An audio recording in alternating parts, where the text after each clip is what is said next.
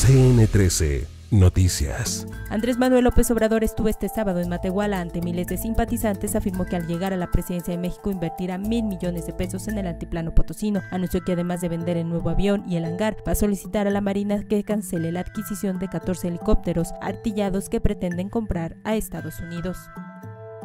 El Consejo Estatal Electoral y de Participación Ciudadana aprobó por unanimidad nuevos cambios en candidaturas de distintas fuerzas políticas. El organismo electoral afirmó que los cambios que surjan a partir de ahora, los candidatos no podrán aparecer ya en la boleta electoral.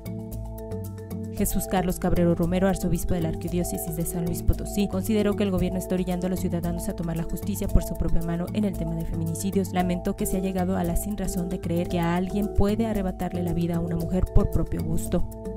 El recién remodelado Hospital General de la Zona número 2, ubicado en la avenida Cuauhtémoc, no aguantó ni las lluvias que se registraron el pasado fin de semana, ya que por medio de redes sociales se denunció las filtraciones de agua y caída de plafones en dicho nosocomio, pese a que se invirtieron miles de millones de pesos.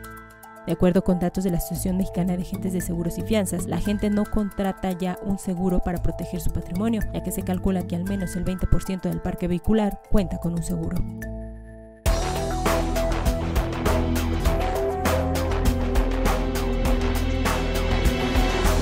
CN13 Noticias.